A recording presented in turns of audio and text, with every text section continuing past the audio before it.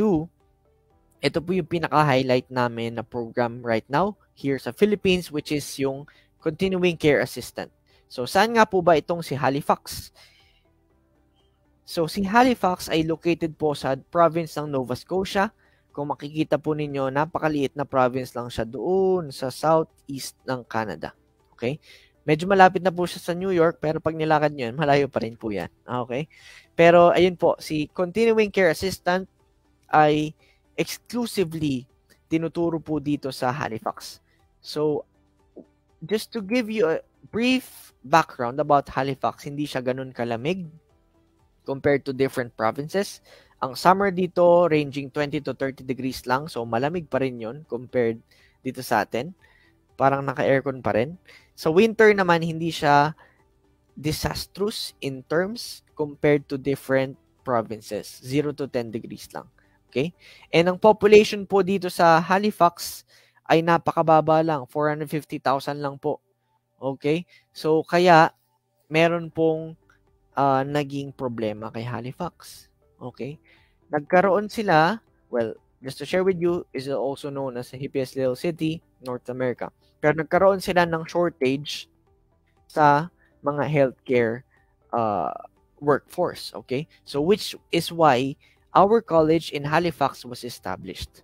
So this one is located in Halifax, 5 minutes walk lang from the waterfront.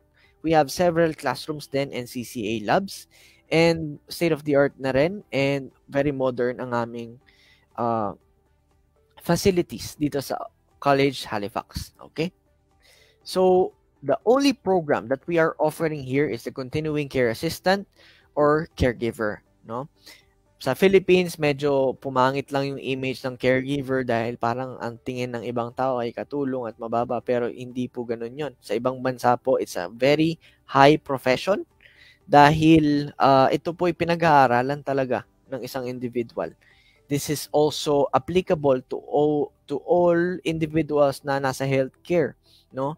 Uh, this will enable them to learn the basics and the uh, normal practices, especially in the assisting of the ages and the aged, no, in their health and their uh, quality of life. Okay, so there is a huge demand of continuing care assistant in Nova Scotia. More than 1,500 po. Dahil hindi na kayang uh, i-provide ng province ng Nova Scotia yung workforce nila. Shorten na sila sa staffing, which is why they are looking for international students para mag-work sa Nova Scotia, Canada. So, this is a really huge demand which is why um, nagtayo po na nag-establish si Nova Scotia ng immigration pathway uh, also part of the Atlantic Immigration Pathway, international graduates in demand stream po yung tawag. Okay? So, all CCA graduates uh, from uh, colleges in Nova Scotia are to secure employment right away, no? Once they secure the work permit, they can already apply for the IGID stream and apply for a permanent residency agad-agad. Napakabilis po nito. Ito po yung pinakamabilis na way para maging permanent residency kayo sa Canada. Itong uh, CCA through the IGID stream. Okay, so one of the core, uh, what are the course contents of the CCA? Ito po, makikita ninyo, personal and professional development, anything related to uh, care setting, to function and care implications, to mental health, etc. So lahat po yan ay ituturo po sa CCA program. Okay? So what is so special with CCA? So marami po, ang marami ring namang schools, pero mabibilang mo rin naman sila ang nag-o-offer ng continuing care assistant. Pero what is so special with Oxford International College Halifax for the CCA program? Well, eto po, pagka-graduate ninyo, bibigyan namin kayo ng trabaho. Kami po magbibigay sa inyo ng trabaho, guaranteed po yung work placement ninyo. Okay? So, baka naman, Sir Rick, ano yan? Uh, drawing lang yan, no? Drawing lang yan. Baka pag hindi kami nagka-work, iwanan nyo na kami. Well, ang ang may pag mamalaki ko po sa inyo ay sobrang guaranteed po namin na magkakaroon kayo ng trabaho at kapag hindi po kayo nagkaroon ng trabaho, i-refund namin yung tuition fee ninyo for the CCA program, full refund 100%. Pero syempre, with terms and conditions as follows. No? So this is a really good opportunity for you to take. Guaranteed po yung trabaho as a caregiver, as a continuing care assistant sa Nova Scotia, Halifax. Okay? So, uh, yun po, part ng CCA din ay yung certification. So, magkakaroon po tayo ng uh, provincial certification exam pagka-graduate natin sa program na ito. Okay? So, this is a certificate program, si Continuing Care Assistant. Ang length po ng study natin, 40 weeks. Gaano po katagal yung 40 weeks? 9 to 10 months. So, sobrang bilis. Sobrang easy lang na panahon. Kasi po ang goal natin dito, magkaroon tayo ng credential, magkaroon tayo ng uh, educational background sa Canada, no? And then there is also a uh, training na kasama po sa program na to. Kaya sobrang bilis ng program na to para i deploy kayo agad to the working environment. So we have multiple intakes simula po March and then uh, alternate months lang March, May, July, September, November. Okay? And uh, marami po kayong option to start. Pero kanina po nakita ninyo, sobrang in demand po yung program. 1,500 lang ang remaining vacancies no? Uh, for the particular job na makukuha po ninyo afterwards na mag-graduate. So, it is already time for you to apply already by 2024 po. No? And um, tuition fee po nito, 20,000 CAD given the fact na uh, 10 uh, 10 10 months lang kayong mag-aaral. Okay? Guaranteed yung trabaho po ninyo. And then, pwede na kayo agad mag-apply-apply ng permanent residency once you have the work permit already. Okay? So, sobrang sulit po niyan, 20,000 CAD. Tapos, meron po kaming registration fee na 1,000 CAD for international students. So, ang process po niyan, makikita ninyo mamaya. Okay, so ito po yung journey natin for the entire 40 weeks. Mag-aaral tayo sa mga first uh, 18 weeks and there's uh, skills placement and there will also be work placements. No? So, kailangan po, pag nag-apply tayo sa program na to, you should secure a study visa and also a co-op work permit. No? Although this is not actually a co-op na paid internship, pero it is a mandatory requirement po ng government ng Nova Scotia and the college itself. Okay. So, after 40 weeks, graduate na po tayo for the program. Tuition fee, like what I've said, 20,000 CAD and then 1,000 yung registration fee. So, total of 21,000. Pero wag po kayong malungkot dahil meron po kaming scholarship para dyan. Uh, ah, 5,000 CAD po ang in-offer naming scholarship for the CCA program. So, a total of 16,000 CAD na lang yung tuition fee natin for the overall program and guaranteed po yung work. Okay? And living cost, makikita po ninyo, so Nova Scotia is a very small province naman. Medyo mababa po yung cost of living dito compared to other provinces. Okay? So total, uh, estimated total living cost mo po ay uh, roughly 32,000 CAD. Safe na po yun. No? Okay, so admission process, how do we start? How do we begin? kontakin niyo po sa Visa Interna Visa Center International kay Miss Janine. Mag-message po kayo agad-agad. Miss Janine, I am already interested for the program. I want to apply as soon as possible. So by that time, I will be sending the uh, the application uh, link para po i-fill out uh, ninyo at ni Visa Center International. Tutulungan po kayo para mag-send ng application sa amin. And then we issue the conditional offer letter in a very uh, fast way, no? In a span of uh, three days to uh, one week, may issue po namin conditional offer letter sa inyo. And then once you uh, once you have uh, made settlements already, pwedeng pwede nyo po makuha yung letter of admission ninyo in a span of 2 to 3 weeks. So, sobrang bilis po namin mag-issue ng mga kailangan ninyong documents. Okay? And part of the program din po, uh, bago tayo mag-apply for the program is to attend the interview. This will be held by the uh, actual school, our campus in Halifax. Interviewin po nila kayo, how interested are you with the uh, continuing care assistant program? how well do you know the uh, program, how well do you know the location, etc. So basically, simple knowledge, but uh, this will actually be your initial assessment. So tayo mga Filipinos, magagaling naman po tayo mag-English at uh, magagaling naman tayo mag-Miss Universe na sagutan. So kayang-kaya na po natin yan. Okay? So, by that time, pwede na pong i-issue yung letter of admission ninyo and then bayad na po tayo ng initial tuition deposit. And, ayun po, pwede na tayo mag-apply ng visa right away. And then, congratulations, enroll na po tayo sa program. Okay? So, ano pong requirements for this particular program? No? At least high school graduate din po tinatanggap namin. Pero if you are in the healthcare industry, pwedeng pwede po kayong mag-apply. No?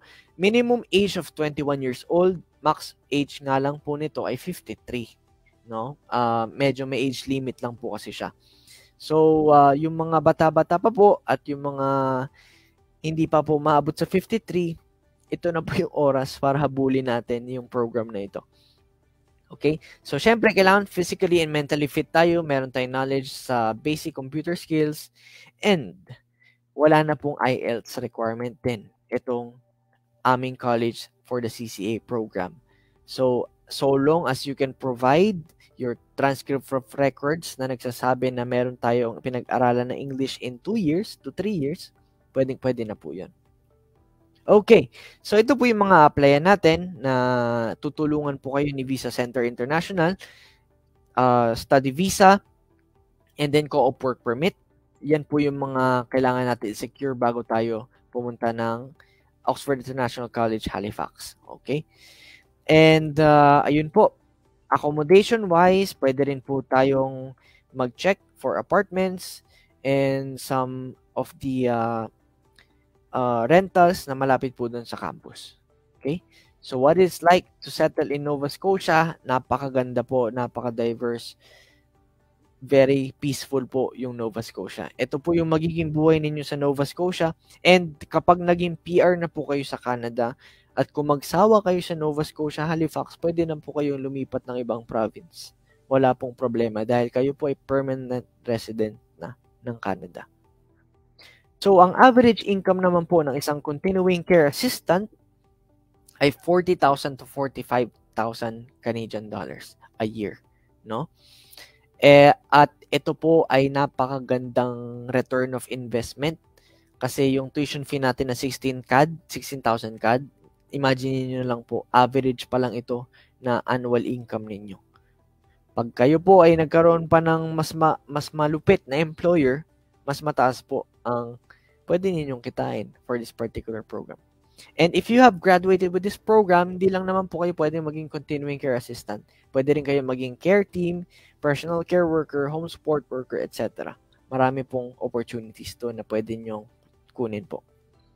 Okay, so if you have any questions, um, lapit lang po kayo kay Visa Center International. And then uh, they are closely coordinating with me. We are direct partners, so they can help you out. We can help you out in regards to your application with our college. If you want to uh, check out some updates or if you have direct questions sa akin, pwede nyo pong iscan itong QR code na to. Uh, our Facebook page, Oxford International Education Group Philippines. Makikita po ninyo dito din yung mga updates regarding our programs and our schools. Okay? So, uh, I think we are now mm-hmm. ready for the Q&A. So, yes. uh, Ms. Janine? Ayun. So, sir, actually, maraming nag-comment na interested sila, no? So, pero meron, meron lang ako nakita dito na magandang question kasi parang, I'm not sure kung nabanggit mo siya kasi regarding to sa tuition fee. So, ito yung kanyang question. Pakita natin. Ayan, si Miss Marlene of Famen Canalita. Sabi niya, one time lang po bayad sa tuition fee, sir. Mm. So, yun. Yun tinatanong. Okay. Kasi ba usually, uh, yes, may po. mga stagnant payment. So, yan sir, yes. sige. Sagutin natin yung question okay. niya. So, paano po tayo magsisimula? You need to pay the 1,000 application fee uh, para po magkaroon tayo ng schedule for the uh, interview with our college uh, admissions in Halifax itself. So, pag nagbayad na po tayo ng 1,000 CAD, uh, that's the time na mai-issuean po tayo ng, pag pumasa po tayo sa interview, uh, that's the time na uh, may issuean tayo ng LOA, ng letter of admission or ng conditional offer letter to pay for the tuition fee deposit. Mm-hmm. No? Tuition fee deposit po natin ay 10,000 CAD. So meron pa tayong remaining balance na 5,000 CAD which is payable naman po uh, by the time na tayo ay nasa 6th week na, no? Ay 6th month, 6th month. So uh, isipin niyo lang pang ilang weeks 'yon. So 'yun po. Ayun. So, ayan, nasagot na ni Sir Rick ang iyong question, Miss Marlene. So, if ever na interested po kayo dito sa sa um, Oxford International College, you can message us. Meron naman tayong link dyan. Pwede po kayong mag-log ng inyong mga credentials and kami na po mismo ang tatawag sa inyo. Okay? So, um, yung iba kasing question is regarding na sa process. So, ito hmm. lang yung question ko lang, sir. Regarding doon sa sa um, care sa CCA or yung continuing yes. care assistant, no? Mm-hmm. Um, ano to sir, 'di ba sabi nyo is 9 to 9 to 10 months lang siya. Yes po. So, 9 to 10 months, meron nang kasama siyang co-op na yun nga lang is hindi siya paid. Yes, uh, part na siya ng buong program sa 10 months na yun, yung co-op. Mm-hmm. Para magkaroon ng experience si student uh, right. in regards to how it is going, no? Paano maging CCA mm-hmm. in the near time pag-graduate.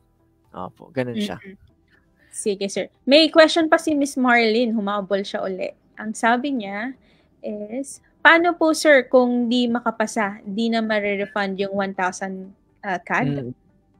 Opo. Um, yeah. To answer that question po, that's a really good question, no? Yes. So, pag nag-apply tayo ng, uh, nag-send tayo ng application, nagbayad tayo ng mm-hmm. application fee na 1,000 CAD, we have three tries na mm-hmm. pwedeng uh, mangyari para sa interview natin. So, syempre, sana hindi naman tayo bumagsak, no? We have three, ang, hanggang three tries naman po tayo for the interview. In any case na bumagsak po tayo sa kasamaang palad, napakalungkot naman nun, ay, uh, mare-refund naman po yung 650 CAD doon. So, yung ah, 350 okay. CAD po ay uh, mare-retain as the payment natin for the interview na ginawa with the school. Ayun naman Yun pala. So may may refund pa din, 'di ba? Yes, So magandang ano actually magandang question 'yun ha. Hindi ko hindi ko siya naisip yung mga nakaraang training natin, no, sir. So 'yun, mare-refund siya. Yun nga lang hindi siya full. Actually, um, maganda nga yun sa inyo kasi nare-refund pa, pero sa iba kasi full, Yes. hindi na talaga siya nare-refund. Although um, ano naman 'yun, um, madali lang naman kasi din yung yung interview, no, lalo na 'wag lang tayong mm. kakabahan, tas be Wag true lang. Oo. Yep. Kasi kapag And Yeah. One thing na ini-implement ko po dito sa uh, Philippine market, no, ay uh, pag direct partner namin yung agent like Visa Center International, nagke-create po ako ng ng uh, link for a an initial mock interview with the student. Oh, para at least tulungan sila paano na paano nila i-handle yung magiging uh, interview nila with our actual school. So parang so, review. Yes po, review. Uh-huh. Pero bago pa man sila sumalang sa interview, ay sasendan sila ng email ng aming admissions. In, naka-attach naman na po doon lahat ng kailangan nilang pag-aralan regarding the continuing care assistant. Mm-hmm. So wala na silang kailangang alalahanin pa anong aaralin nila. Lahat po yan ibibigay sa atin para i-prepare yung sarili natin naman para makapasa sa interview. Ayun. So, last question na lang ni Miss Marlene. Talagang interested siya. Sabi niya, midwife po ako for 15 years. Tingin niyo po, sir, papasa?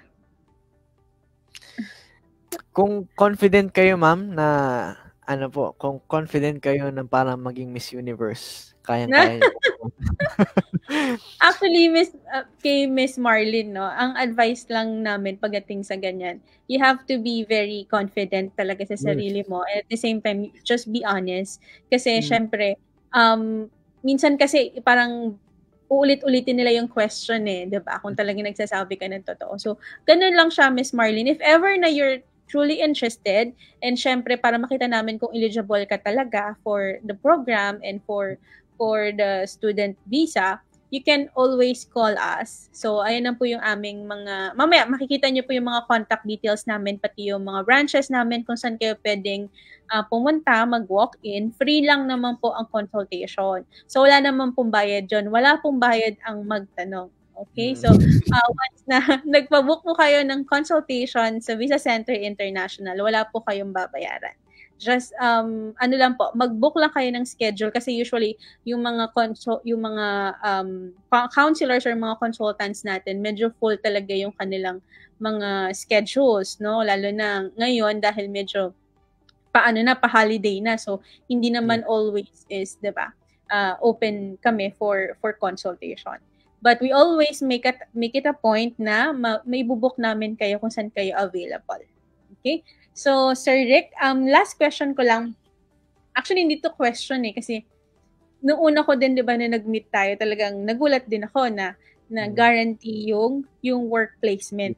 Di ba? Kasi uh, parang too good to be true kung, kung tawagin. Yes. Pero kasi na, na ano eh, na, nasagot naman ni Sir Rick talaga yung question namin na bakit paano paano magkakaroon ng work work placement agad-agad yung isang student. So sir sige, yeah. ano niyo po sa kanila? I-explain niyo pa po ng ma ng ma-elaborate mo pa ng ng ng mas malalim okay. kung bakit kaagad merong work. Kasi usually yung ganun eh, parang 'di ba? Alam niyo hmm. naman po yung mga Filipino, 'di ba? Medyo ano na sila, wais na kumbaga. Yes. So, so baka isipin ano, baka isipin scam. Ipo. Ayan. well, to, to check the eligibility of our school, you can check our website po, oxfordinternational.com. Makikita po ninyo, we are a global business. Uh, we are sending students to UK, mm-hmm. US, Australia, and Canada. Okay? Aside from that, uh, kagaya po ng pinresent ko kanina, nakita ninyo, one of the things na talagang hinahanap ni Nova Scotia province ay yung uh, care assistance. Sobrang in demand po talaga which is why they have established this part uh, this uh, immigration pathway which is the IGID stream no? Hindi naman mm-hmm. sila pwedeng mag-create ng IGID stream ng uh, walang magtatrabaho. Tama? So uh, ano pang sense ng magiging permanent residency immigration pathway kung wala naman magiging workforce? Which is why uh, healthcare institutions doon po sa Halifax sa Nova Scotia they have partnered with career colleges especially uh, specifically Oxford International College Halifax. Uh, kaya po bago uh, sobrang guaranteed na kayo po ay magkakaroon ng work as a care assistant pagka-graduate. Mm-hmm. Nakita ninyo yung video ng promotion kanina si Bora Nam, yung parang Korean na babae. Uh, pwede niyo po siyang i-search sa YouTube kung uh, yung video po namin kanina para i-verify. Si Bora Nam po, mm-hmm. bago man siya gumraduate, no? uh, dun po sa pinag-i-internan niya, although co-op to na hindi bayad, inabsorb po siya nun bago pa siya gumraduate. Tinanggap siya as a care assistant. Right now, dun po siya nag-work. Mm-hmm. Sa pinag-internan niya. Nung hindi pa siya gumagraduate, ha? May lumapit mm-hmm. at offer na pong work sa kanya as a care assistant. Pag hindi po kayo in-offeran bago kayo gumraduate, that's the time na si Oxford International College ang papasok para maghanap po ng okay. healthcare institution para i-offer sa inyo. Okay? Correct. And then, uh, kapag hindi nga po kayo nagkaroon ng work, sana wag naman, no? Saka, sobrang malas po nun.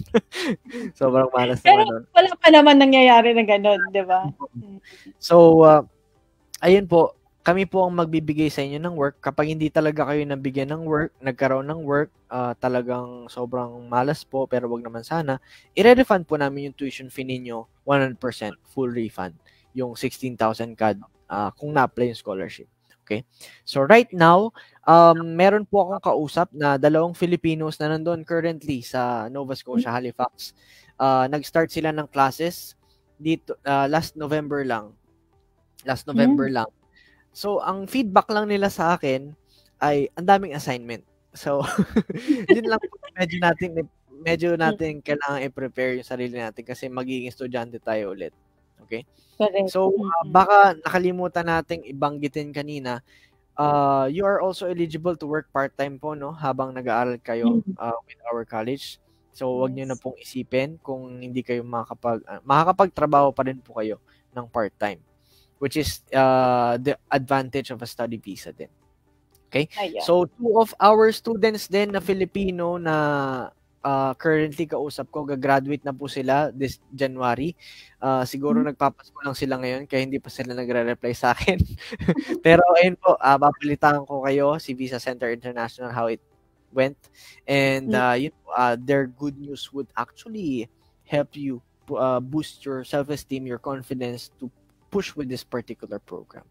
Yes, tsaka sobrang bilis, 'di ba? 9 to 10 months lang and then right after meron ka ng trabaho agad, 'di ba? Mm-hmm. So sobrang ganda nitong program na to kaya kami as as the counselors as the Visa Center International itself, sobrang excited kami na ibahagi sa lahat ng mga aspiring students na gustong pumunta ng Canada, lalong-lalo na sa Nova Scotia. Alam naman natin sa Nova Scotia medyo mahirap makapasok dyan, 'di ba, sa Nova mm. Scotia. And konti lang din talaga yung mga schools diyan na nag-offer yes. din na kaagad na merong work placement, 'di ba? Right. Eh, may question pa isa, sir. Ito, last. Sige po, go lang. Sir Ralph. Ayan, si Sir Ralph, ang sabi niya, yung total expenses po na 32,000 plus Canadian dollar, included na yon bayad sa school at cost of living sa 10 months?